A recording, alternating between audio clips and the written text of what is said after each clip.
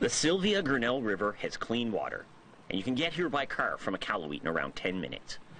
Even when the water's working the way it should, many Iqaluit residents prefer their fresh river water. Most didn't imagine a time where it was the town's only water source. Residents are filling anything that will carry water and bringing it home. The city's plan is similar. They're filling these water trucks right from the river, driving downtown and distributing it to residents. You're supposed to boil the river water for a minute before drinking, which sure beats the piped water right now. The petroleum hydrocarbons in a Iqaluit's water can't be removed by boiling. It's so toxic that pregnant women and infants are advised to not even use city water to bathe. These City of Iqaluit workers have been working since 8 a.m. until midnight, since Tuesday, with no let up in sight. Test results for the water contamination aren't even due until Monday. Iqaluit residents can handle a lot.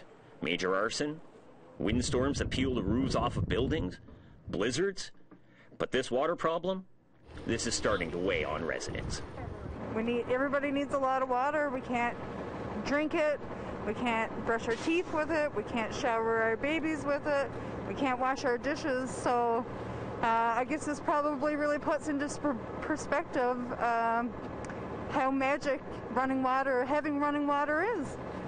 I'm surprised uh, Red Cross hasn't come in with a truck or a couple planes full of water because this is the time that we really need it.